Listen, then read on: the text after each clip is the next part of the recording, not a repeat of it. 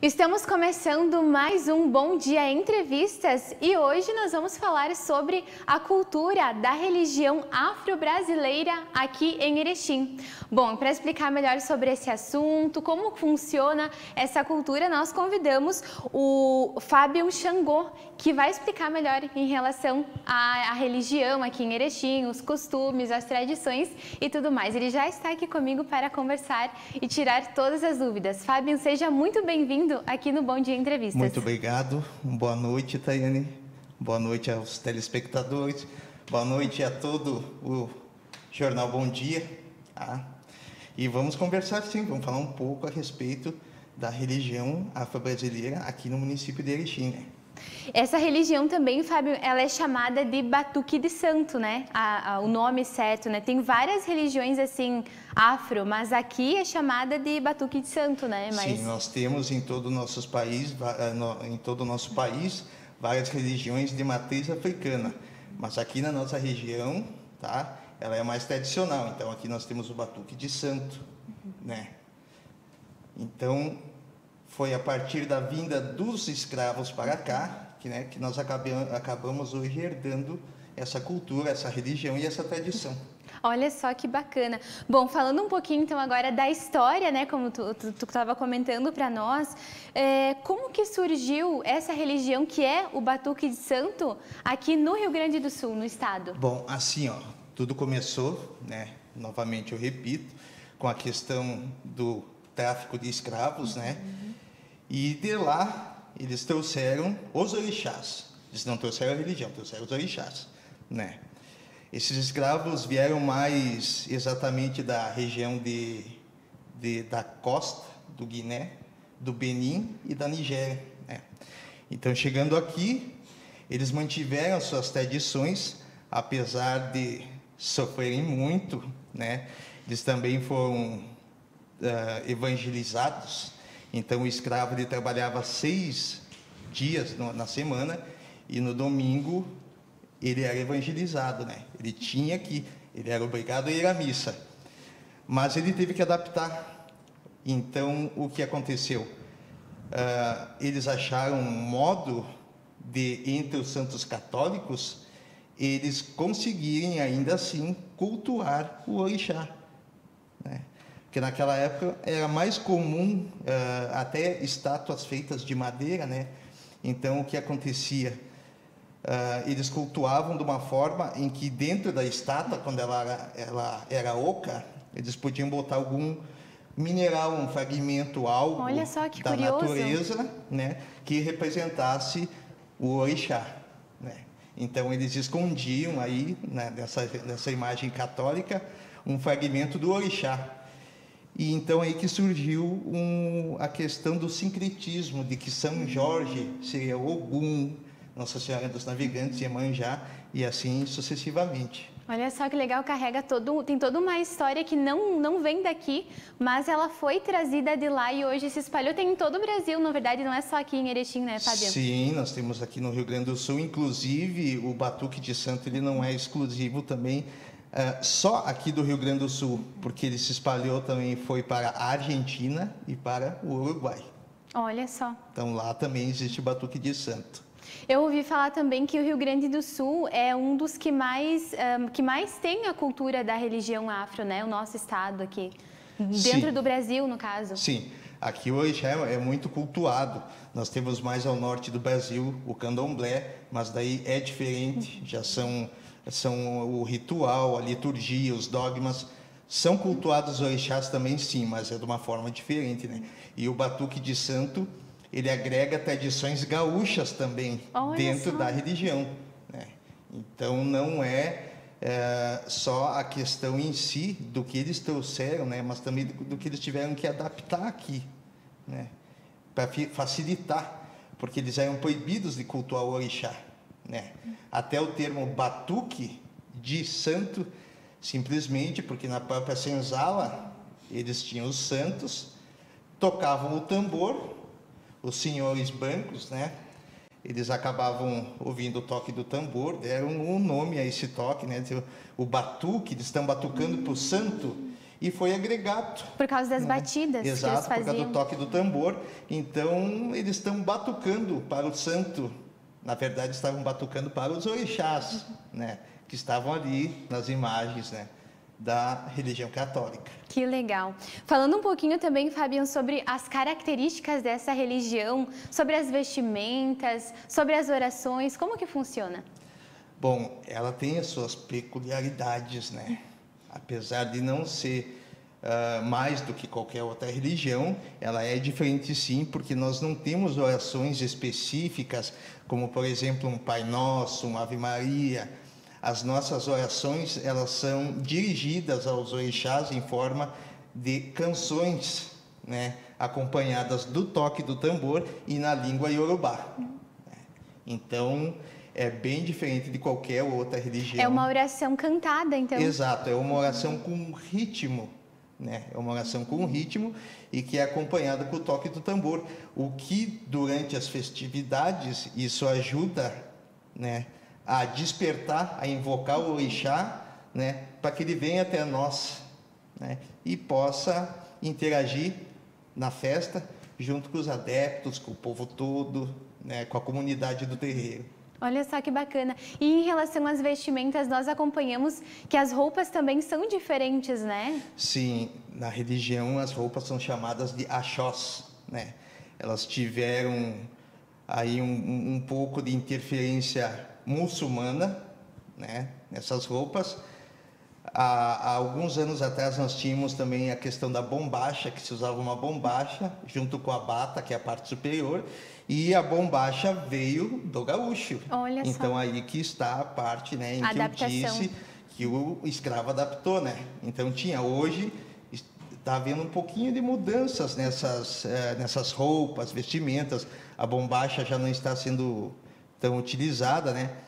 Mas é, é, é, tudo assim, ó, bem diferente do que você pode ver em qualquer outra religião. Você tem que ir lá, visitar, ver, conhecer. Porque quando você bota o pé dentro de um terreiro de batuque de santo, né, onde tem o orixá, você está botando o seu pé uh, num pedacinho do, do continente africano da cultura deles. É bem interessante porque é uma religião, mas ela tem várias, várias culturas dentro da mesma religião, Sim, né, em todo ela o país. tem várias culturas, né, de outras religiões também foram adaptadas tudo para se criar então uma só liturgia ali, né?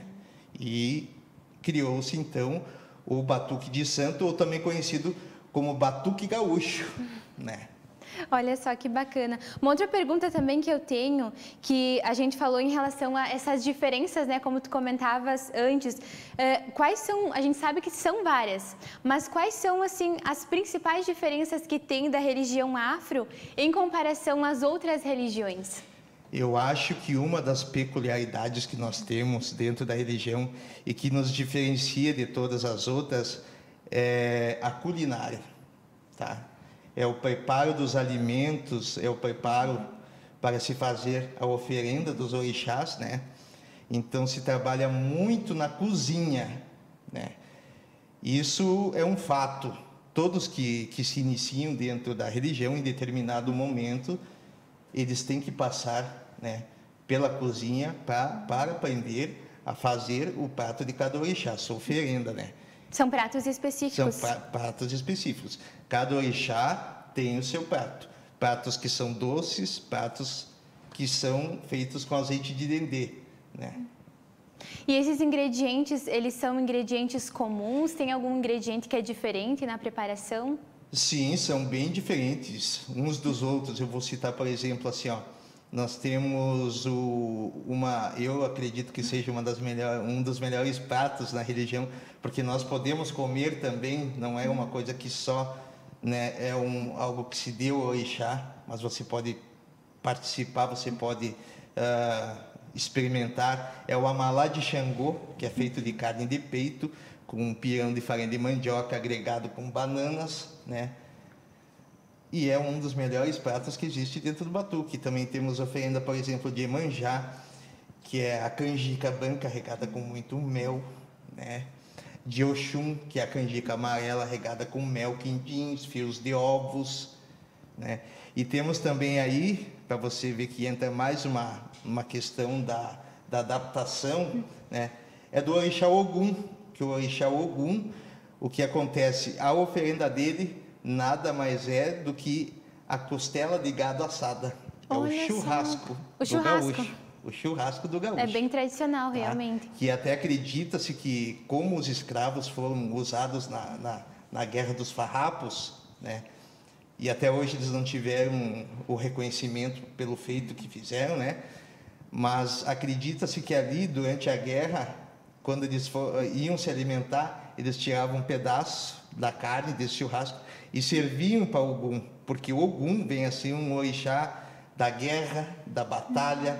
Então eles pediam proteção a esse orixá e ofereciam um pedaço do alimento que eles estavam comendo, né? E que provavelmente era o churrasco. Olha só que bacana. Antes, nós comentamos também em relação aos orixás que são cultuados, né? Quais são os principais orixás que são cultuados dentro da cultura afro?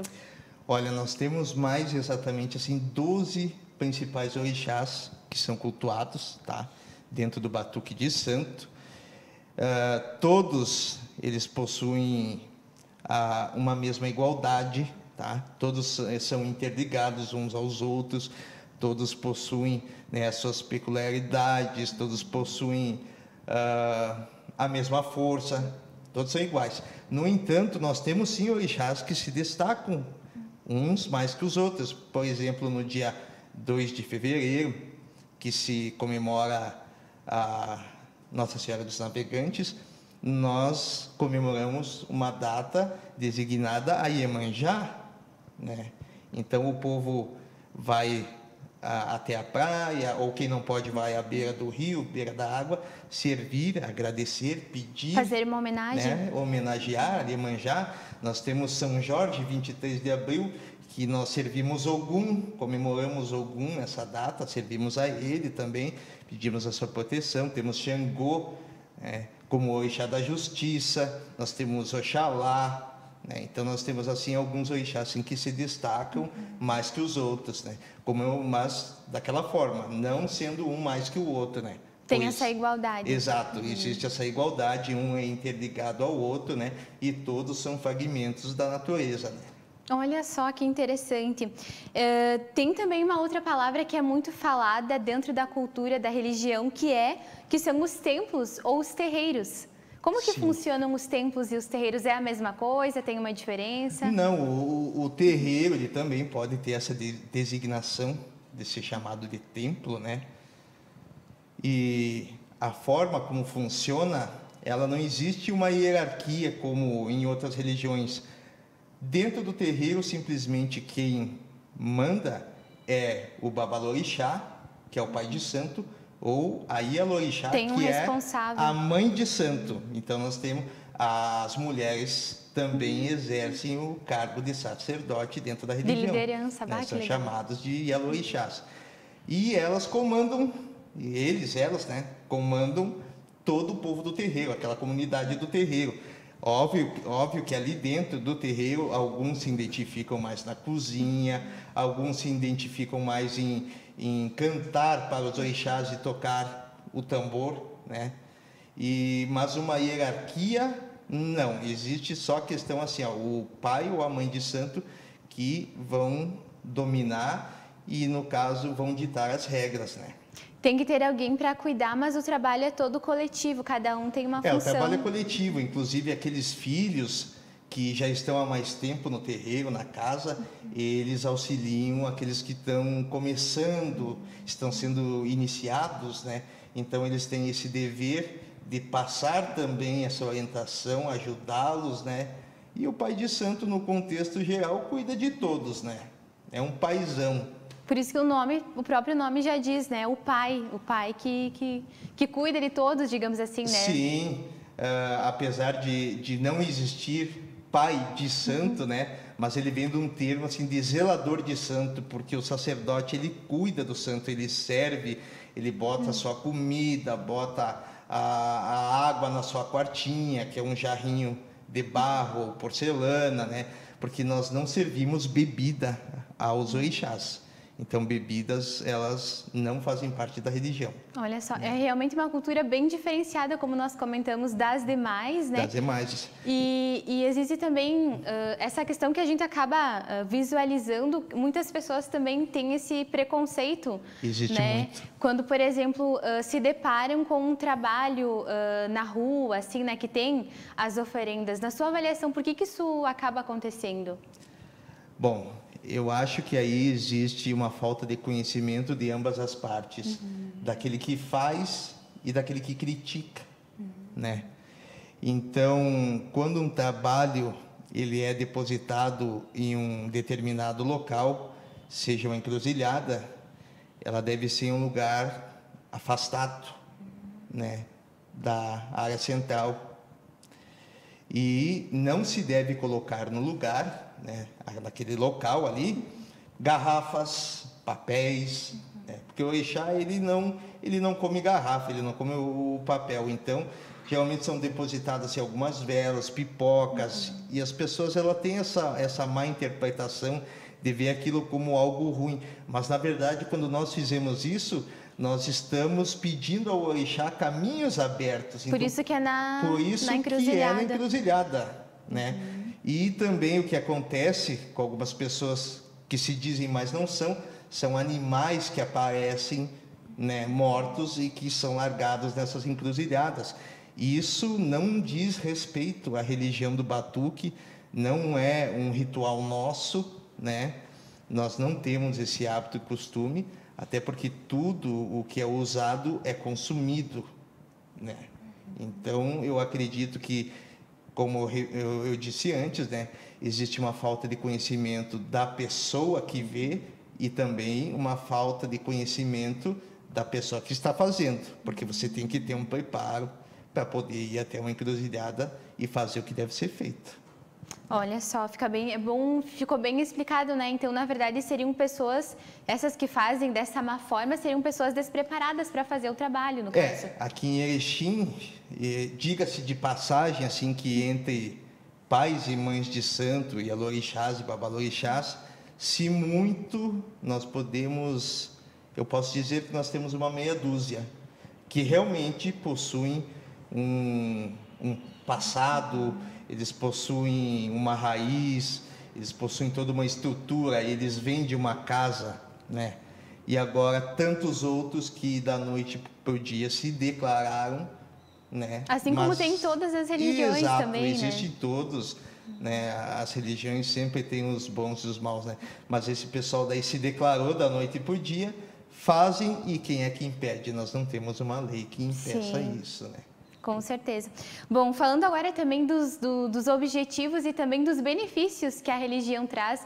Hoje em dia nós temos vários caminhos, tem terapia, pessoas às vezes buscam conforto na religião, Sim. na fé. Hoje nós temos vários caminhos, né? Na sua avaliação, quais são os principais benefícios que a crença em si, né, de, de nós acreditarmos em algo ou de nós nos reunirmos com as pessoas e praticar ações que venham beneficiar o ser humano, o que que uh, quais são esses, esses benefícios que traz para a pessoa que pratica uma religião, que tem uma fé, que tem uma crença? Olha, os benefícios são muitos, né? Eu acredito que todas as religiões têm benefícios, né? Mas em particular, se tratando do, do, do batuque de santo, né?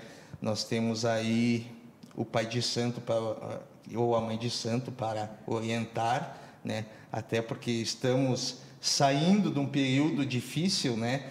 Então muita, muitas pessoas recorreram né, às casas de religião buscando uma orientação, buscando uma ajuda, e eu acredito plenamente que nem todas as respostas a gente pode encontrar somente aqui no mundo material, mas a gente precisa de um suporte espiritual também, porque em determinados momentos da nossa vida, né, nós vamos ter que buscar algo a mais dependendo da situação. E cada orixá, ele está ligado também a uma determinada situação e a um determinado momento da nossa vida. Então, através do oráculo do orixá, a gente se busca uma resposta para que aquela pessoa possa ser orientada da melhor forma possível. Então, a fé, ela tem que ser mantida e, de preferência, que não seja uma fé superficial. Inabalável. A pessoa ela também tem que acreditar, né? Ela tem que Sim. se entregar.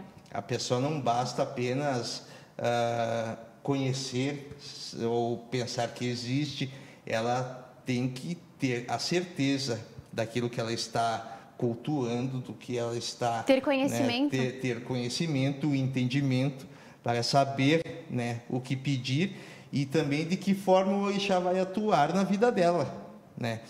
E apesar do, dos orixás, eu gostaria de acrescentar que nós temos Deus também, um único Deus na nossa religião, que dentro da, da língua iorubá é Olodumare ou Olorum, o Deus da criação, né? Então nós temos um Deus superior e abaixo deles está o panteão, né, africano ali com seus orixás. Olha só que bacana. Realmente a, a religião ela é uma coisa assim muito ampla, né? Principalmente da cultura afro aqui, aqui no Brasil, em várias partes do mundo, né? Sim. E realmente tem muitos assuntos ainda que se nós fôssemos puxar, é, a gente ficaria aqui horas falando sobre, É. sobre o assunto, né? Realmente Eu tem bastante acredito que, ramificações. que seria uma, uma matéria bem longa se nós fosse se aprofundar mais na questão, né, e esclarecer para as pessoas o que realmente é e não o que elas pensam que é, né? Então, como eu disse, o batuque não só uma não é só uma religião, como é uma tradição e uma cultura também, né? Com certeza. Bom, então, Fábio, já chegando aqui ao fim da nossa conversa, quero agradecer muito a sua presença aqui no Bom Dia Entrevistas, por ter vindo até aqui, por ter conversado conosco e ter esclarecido aí os principais pontos da cultura, da religião afro aqui em Erechim. Nosso muito obrigada. Imagina eu que fico muito grato pelo convite. Foi uma honra vir até o jornal e foi um prazer ser entrevistado. Tá Per- bom? Perfeito, nós que Então- agradecemos. Uma boa noite a todos. Bom, e agradecemos também você aí de casa que esteve nos acompanhando, curtindo a nossa programação. Nós lembramos para você que esta entrevista, ela estará disponível em todas as nossas plataformas digitais. Um abraço e até a próxima conversa.